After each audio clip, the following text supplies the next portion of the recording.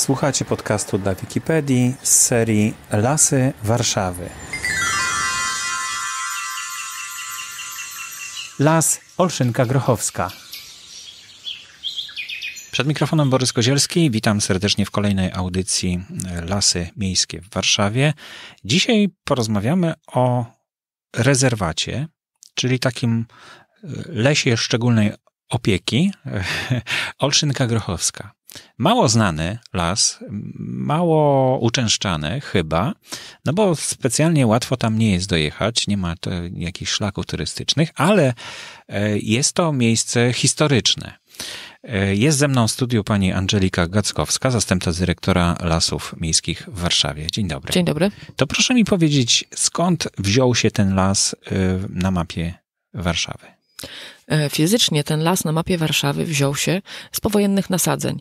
Jest to jedno z miejsc, które właśnie po II wojnie światowej zostało w sposób sztuczny zalesione i wtedy sadzono przede wszystkim sosny. Gatunki iglaste są łatwe w produkcji, więc ta sosna faktycznie dominowała w tych powojennych nasadzeniach. Oczywiście uzupełniono to brzozą i gatunkami liściastymi i obecny, obecny kształt olszynki grochowskiej wynika też już z takiej, no przynajmniej półwiecznej sukcesji naturalnej, ponieważ tam pomału pojawiają się gatunki, które powinny funkcjonować na tych bardzo wilgotnych, bardzo żyznych zbiorowiskach. A jeżeli chodzi o samą genezę Olszynki Grochowskiej i pochodzenie tego rezerwatu i to, dlaczego to miejsce tak się nazywa, to musimy pamiętać, że jest to miejsce historycznej bitwy pod Olszynką mm -hmm, Grochowską, mm -hmm. która miała miejsce 25 lutego 1831 roku. Była to, no to jedna wycieczki bardziej... szkolne tam dojeżdżają właśnie. Tak, jedna z mm -hmm. bardziej krwawych bitew podczas powstania listopadowego. Oczywiście ta bitwa jest upamiętniona na terenie tego rezerwatu, ponieważ pomnik, mamy cmentarz. pomnik Mhm. i mamy Aleję Chwały, która przebiega uli wzdłuż ulicy Traczy. Tam jest cały ciąg kamieni takich pomnikowych, które między innymi upamiętniają różne ważne osoby, ale również Olszynkę Grochowską. Więc to miejsce ma zdecydowany kontekst historyczny i właśnie w celu ochrony historycznej, historycznego miejsca bitwy został powołany ten rezerwat. Rezerwat został powołany w 1983 roku i obejmuje powierzchnię 59 hektarów, troszeczkę ponad 59, ale ma również otulinę. Tutaj otuliny mamy 111 hektarów i to jest taki obszar wokół rezerwatu, którego zachowanie w stanie powiedzmy takim nie za bardzo zagospodarowanym ma pomóc ochronić istnienie drzewostanu właśnie na terenie tej Olszynki Grochowskiej. Mhm. I na ile możemy się poruszać po tym terenie rezerwatu? Bo rezerwat, no, czy on jest ścisły, czy nieścisły? Jak, jak to wygląda? To jest po prostu rezerwat. Mhm. On był powoływany w 1983 roku jako rezerwat częściowy, czyli to była taka niższa forma ochronności rezerwatowej, która dopuszczała jakąś, powiedzmy, w jakimś stopniu gospodarowanie na terenie tego rezerwatu po zmianie ustawy o ochronie przyrody w 2004 roku w zasadzie te, ta forma częściowej ochrony zniknęła i po prostu wszystkie rezerwaty mają taką samą ochronę, o, oczywiście pomijając e, obszary ścisłej ochrony, które są tak mhm. wyjątkowo cenne, już wtedy chronione e, absolutnie. E, więc nasza Olszynka jest takim samym rezerwatem, o takim samym rygorze jak Las Kabacki, e, na przykład, czy Las Bielański. To jest po prostu taki sam rezerwat, jeżeli chodzi o stronę formalną. Czyli, co za tym idzie, Wszystkie rezerwaty, zgodnie z ustawą, są objęte zakazem wstępu. O ile nie wyznaczymy na tym miejscu e, ścieżek, czy jakichś miejsc udostępnionych, na no przykład właśnie, dla pieszych, czy dla no bo, psów. No bo o pani ile? powiedziała, że nie ma I, zakazu i do, nie. I do niedawna, Mhm. do niedawna Olszynka Krochowska była y, w zasadzie objęta cała zakazem wstępu. E, Dopiero w 2016 roku, roku Regionalny Dyrektor Ochrony Środowiska w Warszawie wytyczył tam szlaki piesze Mhm. i mamy tam kilka szlaków prowadzących e, i w poprzek, i wzdłuż Olszynki Grochowskiej. Wejścia są między innymi od ulicy Podhalańskiej, od ulicy Traczy, od, od ulicy Wał Kościuszkowski e, i poprowadzone między innymi również równolegle do torów, bo pamiętajmy, że Olszynka Grochowska jest jednak przecięta magistralą kolejową. E, i mm, możemy spokojnie korzystać sobie z tych szlaków e, pieszych, możemy się tam poruszać. Mm, Nie ma tam miejsca do legalnego wprowadzania psów, więc tak naprawdę na terenie Olszynki Grochowskiej również psy nie powinny wchodzić. I nie, nie wyznaczyliśmy tam też szlaków do poruszania się rowerem, więc Więc generalnie Olszynka jest do odwiedzania, ale jakość tych dróg y, jest taka, że najwygodniej po prostu można się poruszać nią pieszo. No i ty, też ze względu na no, powierzchnię ale jak tego rezerwatu. na rowerze, to chyba mandatu nie dostanie. No my nie, nie ganiamy nikogo z bloczkiem mandatowym tylko, te, tylko dlatego, że przekroczył y, powiedzmy granicę rezerwatu, ale, ale z drugiej strony jednak y, korzystając z jakichś obszarów, które są chronione, pamiętajmy o zachowywaniu tych rygorów, bo też nasze, nasze zachowanie, nasz sposób korzystania pokazuje innym użytkownikom tego rezerwatu, że mogą bezkarnie, mogliby bezkarnie na przykład łamać jakieś zakazy, więc raczej dajmy przykład swoim zachowaniem i po prostu starajmy się przestrzegać e, obostrzeń, które są na danym terenie. E, z tym, że e, tym bardziej, że sama Olszynka ma niewielką powierzchnię, bo to jest 59 hektarów, to jest, to jest niewielki rezerwat i ścieżki, które tam są, no nie zachęcają specjalnie do jazdy rowerowej, nie są zbyt wygodne do jazdy nie rowerowej. Są przygotowane nie są przygotowane, one mhm. są przygotowane faktycznie do poruszania się tam pieszo i właśnie z takiego pieszego poziomu możemy tak naprawdę podziwiać ten rezerwat najbardziej i najwięcej zauważyć z tego, co tam się dzieje, a tam się dzieje naprawdę dużo. No to co się tam dzieje właśnie? Co tam się dzieje? Bo co tam Mamy... się może dziać? Tam jest przecież, to jest taki rejon dosyć um, przemysłowy, można mhm. powiedzieć. Oprócz mhm. tego, że końcówka linii kolejowej, czy jakiś taki duża, um, duży węzeł kolejowy, mhm. to tak. jest na Olszynce Grochowskiej, stamtąd startują pociągi w mhm. kierunku zachodnim. Mhm. E, to jeszcze teren no, przemysłowy z drugiej strony, bo przecież tam jest też e, Kawęczyn bodajże, tak? Elektrociepłownia, tak. Elektrociepłownia. Po drugiej stronie ulicy Chemrzyńskiej. E, tereny fabryki. Mhm. No teraz dopiero tam się rozbudowują również jakieś osiedla. Mhm. mhm. Miasto się rozbudowuje. No to jak tam zwierzęta, czy one w ogóle tam jakoś migrują i, mhm. i dostają się w te... Zwierzęta, zwierzęta tam mhm. się dostają, bo tam mamy i dziki, i sarny, mamy troszeczkę drobniejszych zwierząt i mamy tam bobry. Na przykład na kanale Olszynki Grochowskiej, który przepływa przez y, ten rezerwat, bobry tworzą sobie tamy i na kanałach dopływających, doprowadzających wodę do tego głównego kanału. I jeżeli chodzi o przepływ, ten główny kanał musi być drożny, więc po prostu te bobry, te tamy bobrowe są y, za oczywiście pozyskaniem zgody y, Regionalnego Dyrektora Ochrony Środowiska są Y, rozbierane, bo po prostu drożność tych kanałów jest bardzo istotna i tam nie można sobie pozwolić na zwiększanie poziomu wody, ponieważ A zalewane bo, byłyby sąsiedle. protestują?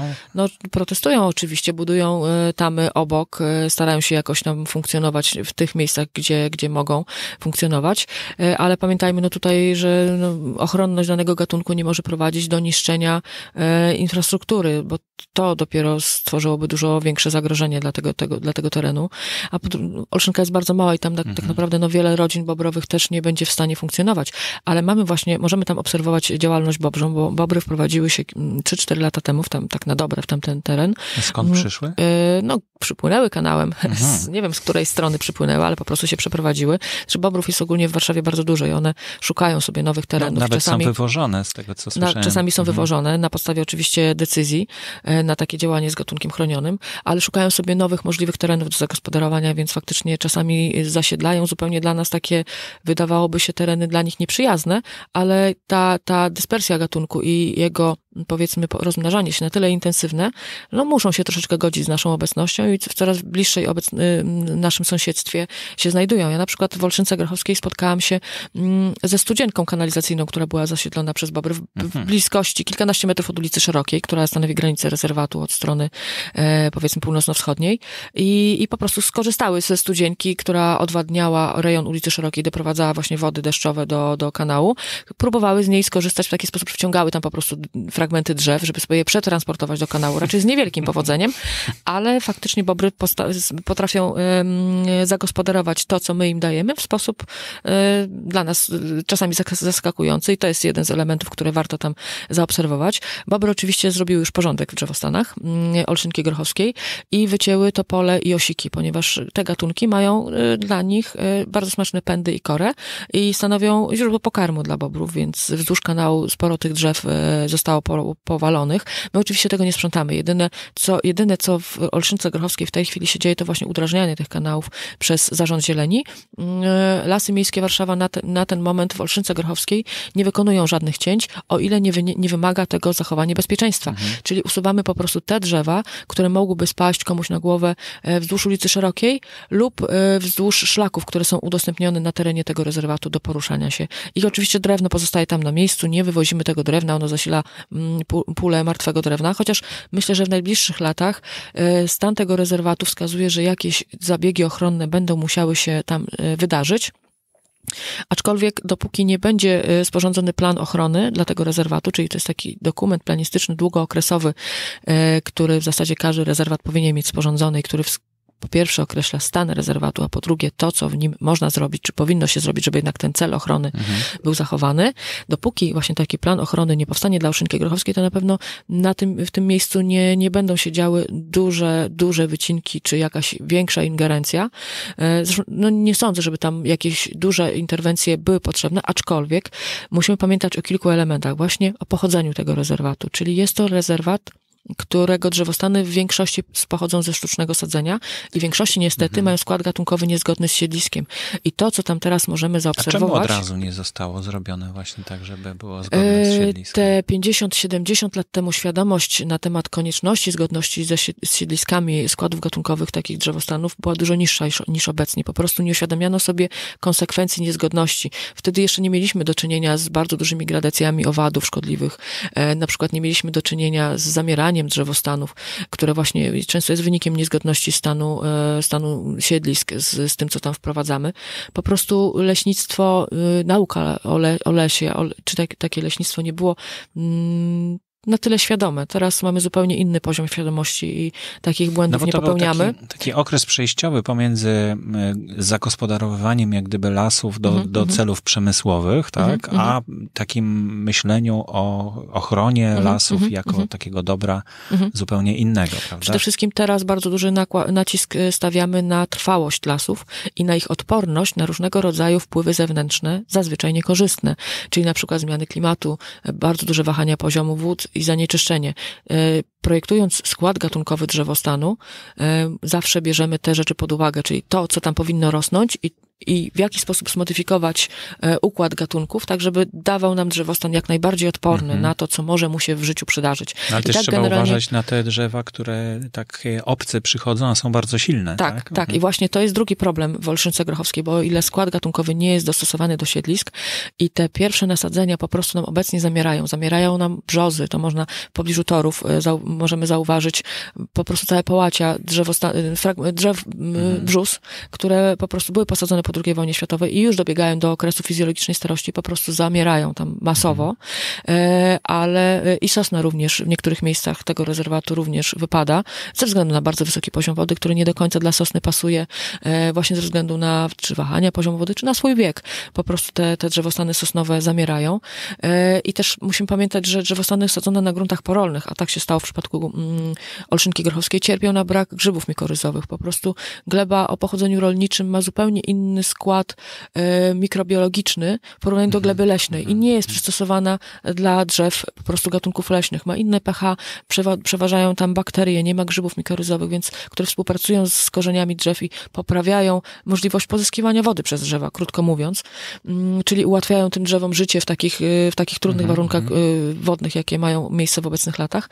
I właśnie ten, ten kompleks czynników powoduje, że te drzewa są jeszcze mniej odporne na, na, na wpływy miasta i to widać faktycznie w Olszynce Grochowskiej i podczas tworzenia planu, tworzenia planu ochrony będziemy musieli sobie odpowiedzieć, czy zostawiamy samopastą przyrodę i patrzymy, jak działa sukcesja naturalna, bo no oczywiście natura, natura, natura mhm. sobie poradzi tam e, doskonale, czy jednak może troszeczkę wyprzedzimy te działania i w tych mhm. miejscach, gdzie po prostu nie ma co się nam obsiać, bo na przykład nie ma dębów, klonów, lip, wiązów, czyli tych gatunków, mhm. które tam powinny funkcjonować, po prostu tak? wprowadźmy je sztucznie, a później pozwolmy im już, y, pozwolimy im już żyć swoim życiem.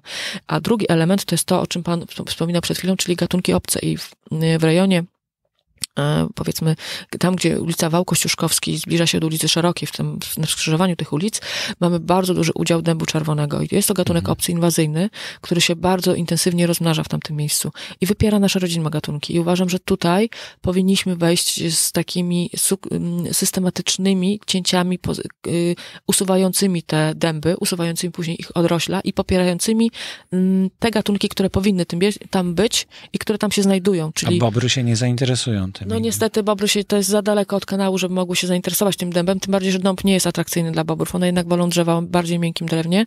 E, właśnie te topole, topole czy wierzby są bardzo ich przysmakiem. No dęby niekoniecznie, tym bardziej, że dęby mają dużo garbników i to też no niekoniecznie tym bobrom smakuje.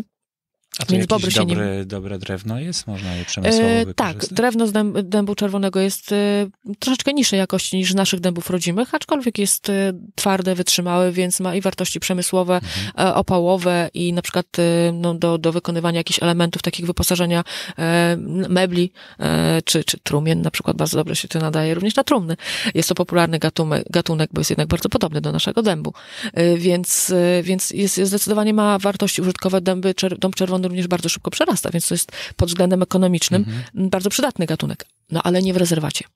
E, nie w rezerwacie i nie tam, gdzie wypiera nasze rodzime gatunki, więc, e, i, więc te, te dwa elementy będziemy musieli w jakimś najbliższym czasie e, y, po prostu zinwentaryzować i podjąć decyzję, co z tym robimy, łącznie z, oczywiście z, akceptowaniem ich, ich, ich konsekwencji, czyli na przykład wycinek w tym rezerwacie. Być może takie wycinki, oczywiście nie wytniemy całego rezerwatu, to będą wycinki punktowe, miejscowe, tam, gdzie faktycznie musimy coś zrobić, ale być może w, jakimś, w jakiejś przyszłości takie działania nastąpią, ale musimy mm, zawsze mieć na uwadze, że takie działania mają na celu podniesienie trwałości tego lasu na najbliższe kilkadziesiąt czy kilkaset w zasadzie lat, a nie tylko chwilowe pogorszenie wyglądu w jakimś miejscu, więc, więc to, to jest coś, co czeka ten rezerwat.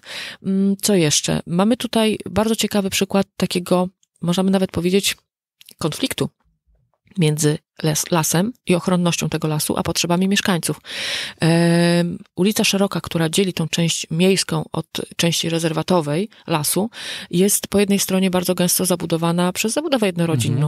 Mhm. E, po prostu tam mieszkają ludzie, mają swoje domki, swoje posesje, a drzewa z rezerwatu, które zostały posadzone po II wojnie światowej no, są coraz wyższe i coraz bardziej wychylają się jednak w stronę światła nad ulicę Szeroką i zasłaniają, zasłaniają światło, dają opad liści, opad gałęzi. Ludzie czasami podczas intensywnych wiatrów boją się po prostu tego, tego nawisu lasu nad swoimi głowami. No i mogą się przewracać te drzewa. Mogą się przewracać. Znaczy, no oczywiście tam pilnujemy, żeby nie, jakieś suche drzewa czy uszkodzone na granicy nie występowały, ale no jeżeli przyjdzie jakaś trąba powietrzna, no to żadne drzewo się nie uchowa. Mhm. Bądźmy szczerzy, jest to jakieś tam zagrożenie i tutaj mm, w zasadzie nie ma rozwiązania, które byłoby kompromisowe i dobre dla obu stron, bo no, rozwiązaniem, które by zabezpieczyło mieszkańców ulicy Szerokiej od zagrożenia, czy od ich poczucia zagrożenia ze strony lasu, w zasadzie jest usunięcie 30 metrów e, drzewostanu. I wtedy no, liście nie spadają, żadne drzewo nie wpadnie do ogródka, mhm. nie ma w ogóle żadnego ryzyka, no ale to jest jednak bardzo duża ingerencja, bardzo duża strata dla, dla rezerwatu. Nie możemy sobie na coś takiego pozwolić. No i, no, no, no i to jest w ogóle, no w ramach rezerwatu nie ma w ogóle miejsca na takie działania. Oczywiście nikt tego nie zrobi. Muru mm. też nie wybuduje. Muru też nikt mhm. nie wybuduje. Więc y, jedynym rozsądnym działaniem jest po prostu usuwanie, takie systematyczne pilnowanie, usuwanie tych drzew, które faktycznie bardzo się wychylają, bardzo zacieniają, bardzo mm, stwarzają jakieś tam potencjalne ryzyko upadku, zagrożenia bezpieczeństwa.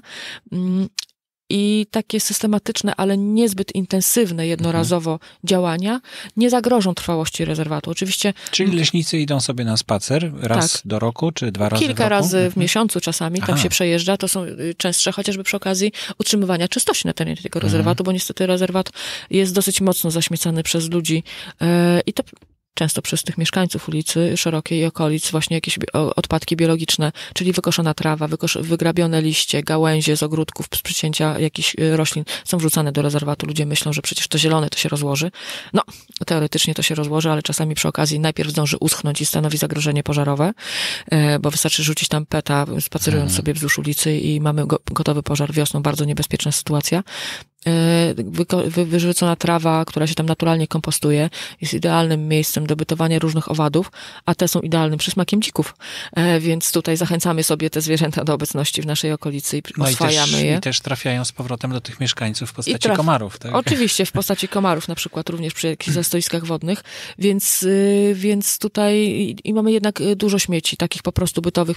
Osoby, które korzystają z terenu tego rezerwatu, po prostu zostawiają tam bardzo dużo śmieci, więc y, my patrolujemy teren rezerwatu chociażby w, pierwszym, w pierwszej mhm. kolejności pod kątem utrzymania czystości na jego terenie, e, a w drugiej, w drugiej, w drugiej znaczy no może nie tyle, że wartościujemy tutaj kolejność, ale również przy okazji patrolujemy pod względem bezpieczeństwa e, drzew, e, czy bezpieczeństwa mieszkańców, mieszkających pod tymi drzewami. Mhm. Więc faktycznie ta kontrola nad tym rezerwatem jest dosyć systematyczna i częsta, mm, aczkolwiek kompromis y, taki, którego byśmy sobie życzyli, jeżeli chodzi o utrzymanie rezerwatu w bezpośredniej, w ostrej granicy z miastem, w zasadzie nie jest możliwy do utrzymania wszędzie bez żadnych strat po obu stronach. Więc mm, mieszkając czy wybierając miejsce do mieszkania w tak, blis, tak dużej bliskości lasu, rezerwatu, zawsze jednak musimy się liczyć, że a to może jakaś gałązka nam spaść, mogą nam liście spaść, może nam jakieś zwierzę przyjść pod płot i powinniśmy jednak być tego świadomi.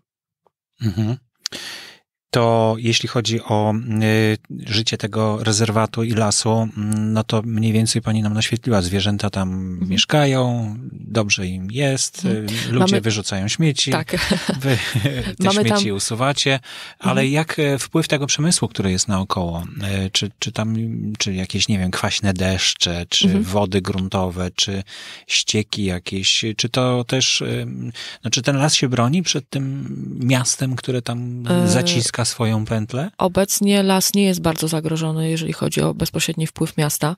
E, oczywiście przepływają tam kanały, które pewnie wcześniej prowadziły bardziej zanieczyszczoną wodę, aczkolwiek teraz no, już nie ma od, odprowadzania ścieków, e, czy bytowych, czy przemysłowych do kanałów, które przepływają przez rezerwat, więc tutaj takiego bezpośredniego zagrożenia ze strony zanieczyszczenia e, wód nie ma. Oczywiście wahania poziomu wody zawsze są zagrożeniem dla takiego terenu leśnego, ale to bar- większe zagrożenie tutaj ja bym widziała w, e, w takich niestabilnych Y, opadach y, po prostu atmosferycznych, czyli tak jak w tym roku mieliśmy bardzo suchą wiosnę, wtedy kiedy drzewa mm, y, wypuszczając liście po prostu potrzebują, i przyroda, wszystkie, rośliny rozwijając się potrzebują bardzo dużej ilości wody na start wiosenny.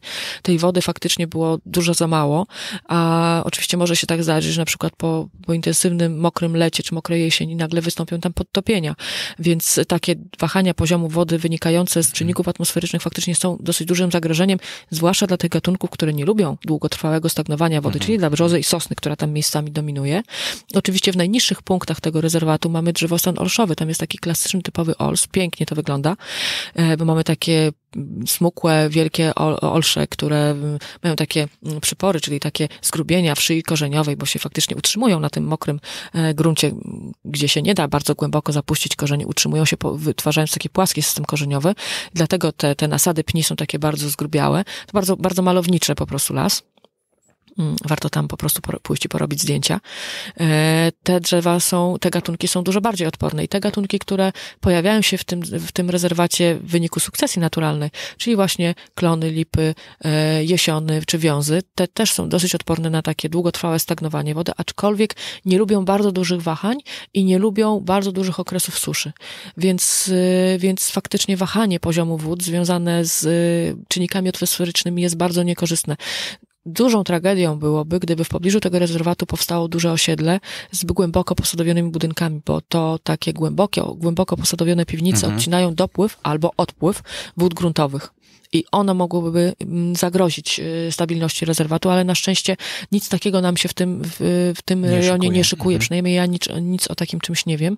Jeżeli chodzi o wpływ torów czy wpływ przemysłu, no to tutaj mamy oczywiście różnego rodzaju obiekty, ale one są oddalone od Olszynki Grochowskiej y, i nie oddziaływują niekorzystnie na ten rezerwat tak, abyśmy, tak, w taki sposób, aby to było widoczne dla mhm. nas.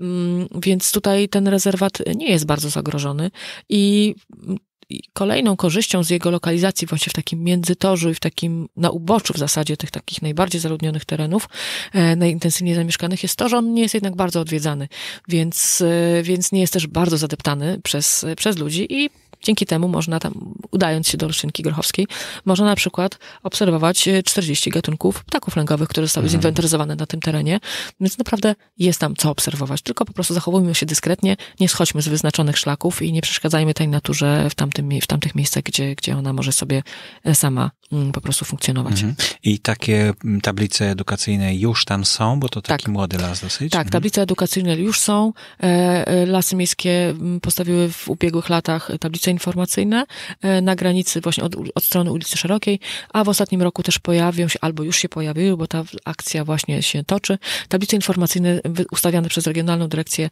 Lasów, e, przepraszam, Regionalną Dyrekcję Ochrony Środowiska, czyli tak zwany RDOŚ warszawski, Będą ustawione tablice informacyjne, też informujące o, e, o rezerwacie, o jego stanie, o tym, co może ten e, las czekać, o jego pochodzeniu oczywiście również. E, I z tego, co wiem, RDOŚ również przygotowuje serię broszurek takich papierowych i stronę internetową, która również będzie informowała o tych naszych rezerwatach warszawskich, w tym o Olszynce Grochowskiej. Także możliwość pozyskania wiedzy na temat tego rezerwatu zdecydowanie nam się zwiększa. Świetnie. No to korzystajmy w takim razie z tego nowego lasu w Warszawie, udostępnionego od niedawna yy, poprzez tą ścieżkę. Mhm. Jedna tam jest ścieżka? Tam jest kilka ścieżek. Kilka ścieżek. Kilka ścieżek, mhm. one, one, one tworzą taką siatkę, więc można sobie przejść praktycznie przez cały teren tego rezerwatu i podziwiać zmienność siedlisk, zmienność zbiorowisk, to w jaki sposób właśnie e, te, te drzewostany sztucznie wprowadzone jednak regenerują się. E, więc jest bardzo, bardzo fajna wycieczka. Można też poobserwować bobry, żeremia, skutki ich działalności, poobserwować ptaki, więc polecam, zapraszam do rezerwatu. To taki najmniej zadeptany chyba, tak? Tak, z jeden z mniej zadeptanych. Mhm. No także polecamy. Bardzo dziękuję. Pani Angelika Gackowska, zastępca dyrektora Lasów Miejskich w Warszawie, była moim gościem. Dziękuję. Dziękuję. To był podcast dla Wikipedii z serii Lasy Warszawy. Zapraszamy do subskrybowania kanału i słuchania poprzez iTunes, czytniki na Androida lub bezpośrednio ze stron Wikipedii w hasłach, których dotyczą audycje. Podcasty Lasy Warszawy wyprodukowane zostały we współpracy z jednostką Lasy Miejskie Warszawa.